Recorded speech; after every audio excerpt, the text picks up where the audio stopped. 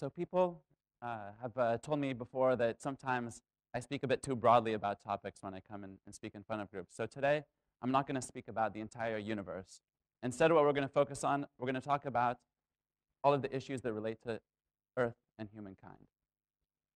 Okay, so not quite everything. We're going to focus a bit more. We're going to focus on all social problems that face us in the world. If we want to narrow it down a little bit more and sort of clarify it, we can think about the Millennium Development Goals. Sure most of you know the MDGs. So, with billions of dollars and trillions of dollars spent on these social issues around the world, where is it getting us? For some reason, we're stuck in a little bit of a rut. Now, I don't have the answer for exactly how we're going to get out of this rut, but I have some ideas. And they're not ideas about solutions. Really, what I want to talk about and share a bit today is some ideas around how we can not think so much about the solutions, but think about a different way of solving problems. How can we frame the problems in a way that we understand them differently? And how can we frame the solutions as well in a way that we can attack them from a different mindset? A scalable, durable mindset aiming for large scale impact, whether here in Lebanon, focusing on the region, or even more globally. And how, how we can bring in some elements that relate to business, the startup tools, etc. Now, one thing that we're going to start with here quickly is stereotypes, because we all love generalizations and stereotypes, right? So, a few stereotypes to sort of understand maybe some differences between a traditional NGO approach and a traditional business approach. Is sometimes we get caught up on what are some of the things that we have to do just to survive within the environment, with the donors, with work, with hierarchy, with the projects, with the beneficiaries. Balancing so many different things can really be quite difficult. Sometimes we get lost thinking that reports are the actual outcome, or thinking that deliverables are a checklist rather than a change in people's lives. Or I know from my own experience here, sometimes part of groups, part of activist groups, where we would celebrate getting things covered in the newspaper, even if it didn't lead to actual real impact on the ground. So we want to think of how we can reframe that. In my mind, the biggest crisis that we have in the world is not related to poverty or water, etc. It's related to a global crisis in low expectations. If you have low expectations of a student in high school, they'll deliver low results. We have low expectations for our government here in Lebanon, and they deliver low results, and we still don't get angry at them. If we have low expectations for ourselves and our lives, both our personal lives, our work lives, happiness, and I think that there's as well global crises around unhappiness, dissatisfaction, loneliness in this world.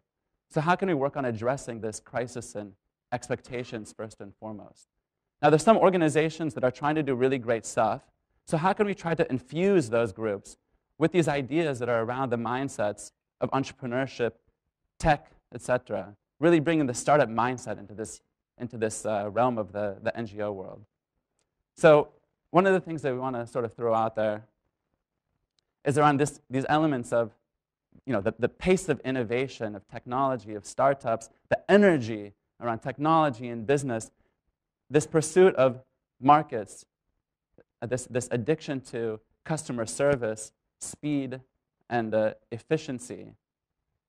And how can we bring that into the realm of solving some of the deep, deepest problems we face in, in Lebanon and the world? So, one thing that we use a lot in our work at Altcity, both with NGOs and with startups, is called the Lean Startup Method. Now, this idea is, is, is a transformative approach that's actually changed the world of technology that we use and has transformed how Silicon Valley, London, New York, etc., approach startups globally. And it's really quite simple, actually. Just taking a couple new approaches, how we can make the process cheaper, lighter, faster, how we can test and fail more often in the pursuit of finding those ideas that can really have the solid impact. Now, here in the, in the NGO world, failure oftentimes is a bad thing. And saying that you want to, you know, maybe write a grant uh, proposal that you want to try five or seven different ideas. A couple of them are going to fail. Maybe one or two of them are going to succeed. Might not work out very well in terms of a proposal for some of the traditional agencies. So how can we, how can we twist that to be something that works within this sort of environment? Validating, prototyping, testing, experimenting, launching, and then still continuing the process of learning and changing, evolving, and iterating. How can we bring this element of dream, try, do and also with the element that failure is okay. So, another process that we oftentimes think about let's overlay that with the design thinking process, where you talk about how you can brainstorm, think about the problem, and then uh, focus on a particular challenge, and then deal with brainstorming different solutions. But the, the, the number one thing from this that I want to share is that the first key element around the design thinking process is empathizing. How can you really connect with the people who you want to deal with, work with, serve, the beneficiaries, your partners, etc. The Singularity uh, University is not actually a university. It's a program in uh, Silicon Valley where every summer they bring together bright people from around the world to tackle some of the world's deepest challenges water, environment, pollution, uh, education, food security, etc. But what makes this one really special is that all of the groups that come together are supposed to work on coming up with a solution that can scale to serve 1 billion people within 10 years of launching. So imagine getting people together here to brainstorm, thinking about these different ideas at a massive scale. And how can we bring this element here in, in, uh, in Lebanon? Now, Singularity is based in Silicon Valley, and this is where I grew up as well. And people always talk about how it's such a unique place. There's so much dynamism, so much energy. You can't replace it, you can't copy it. There's more transactions that happen in the startup world in Silicon Valley that, than happen in the entire rest of the world combined. But one of the things that I'm always surprised about when I go back there is that I'm impressed by how unremarkable it is in terms of the rest of the world. Of course, there are bright people there and they're great universities, but they're bright people here. They're bright uh, there, are great resources there. They're great resources around the world. The number one thing in my mind that makes Silicon Valley different is that people both have the expectation of doing amazing things, building global things that can scale to something like a billion, and as well, they work together, they collaborate, they support each other, they provide resources. If someone comes up with a crazy idea, they don't dismiss it, they ask questions about it. A man much greater than myself said anyone can be great because anyone can serve.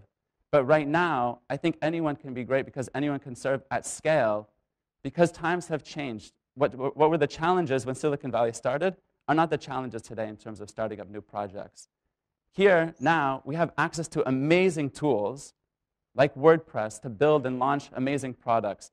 You can take courses at, any of the top, at some of the top institutions from around the world for free from your computer from Beirut. We, can have, we have access to the world's information, and we have amazing networks of our communities through LinkedIn and Facebook and these kinds of tools. What we don't have are excuses. Here, um, uh, I'm sure many of you know about Grameen Bank, which was able to launch uh, microfinance tools that brought millions of people out of poverty, or M-Pesa, which enabled millions of people in Africa to enter the market through mobile banking. Or here in Lebanon, we have amazing projects as well that we can look up to and learn from, like Cedar Environmental, which is turning trash into amazing products, or Cardio Diagnostics, which is a great tech tool that's saving people's lives by using technology to monitor heart problems and alert people before even the person who has the problems know that they exist.